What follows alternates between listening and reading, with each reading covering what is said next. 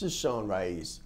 I just wanted to give you something a little bit different, maybe a different scenario, a different background, a little bit more comfortable to just have a talk with you for a moment.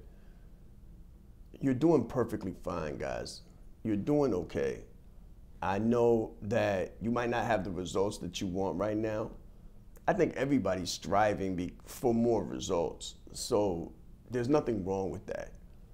I think you might not be getting the feedback that you're looking forward to right now. Everybody wants to up their game, so that's okay too.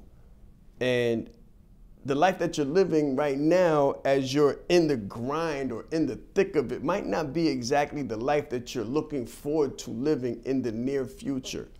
For some of you, it's going to be a little bit longer than others. But that's okay too, no matter where you're at. I want you to understand that you're right where you're supposed to be.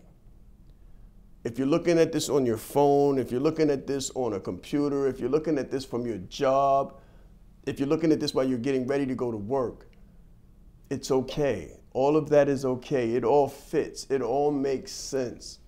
There is a plan at work, and you are in that plan. You are factored into that plan. So no matter how bleak, no matter how they may speak about you or not, no matter if you're getting digits right now or you're getting crickets right now, I just want you to know and be rest assured that you are in the game and you are right where you're supposed to be. Your results are coming soon. Just don't leave. Hang in there.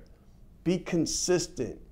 Be consistent and be convicted, and you will be rewarded.